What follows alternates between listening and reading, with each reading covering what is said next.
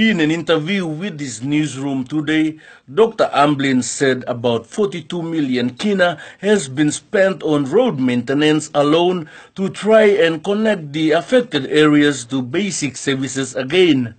He said out of the 150 million kina given by the government, they have used up two-thirds of the funds and 50 million kina remaining to carry on with the relief supplies.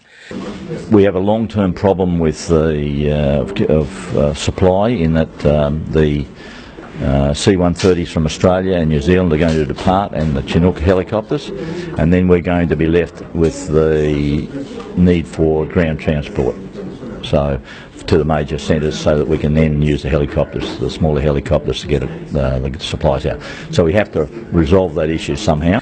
He further added that a massive job is yet to be completed in terms of infrastructure development.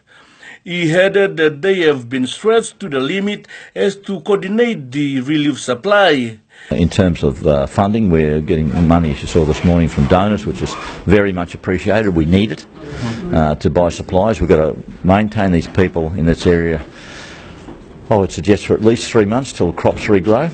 Uh, in some areas it'll be significantly longer.